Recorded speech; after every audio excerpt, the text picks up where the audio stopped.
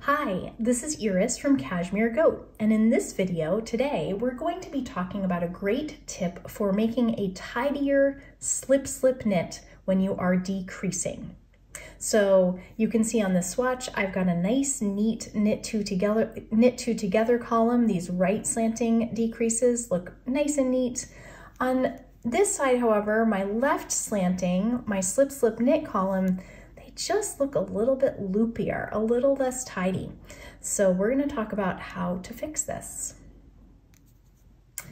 Okay, so this tip comes to us from Patty Lyons, who wrote a fantastic book called The Knitting Bag of Tricks, over 70 sanity-saving hacks for better knitting. Try saying that five times fast.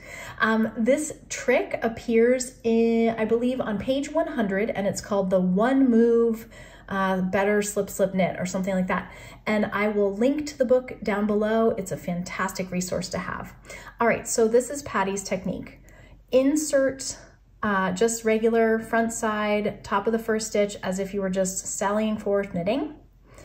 Then the next move is I'm going to actually insert my needle tip on the second stitch in the back. So through the back loop of that second stitch and give it a bit of a tug. Patty suggests this um, remove some of the tension from this first stitch on the needle, which is the one that we want to lie flat.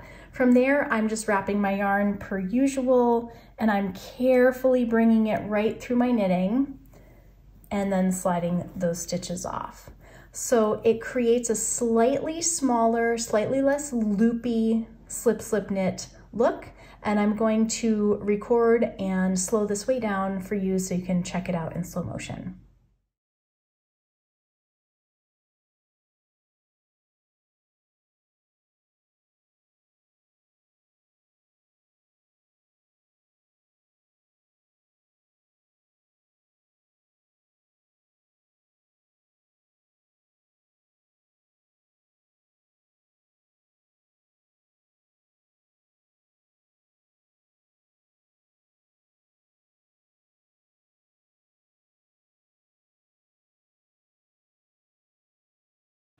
Hopefully this video will help you the next time you're doing a slip slip knit.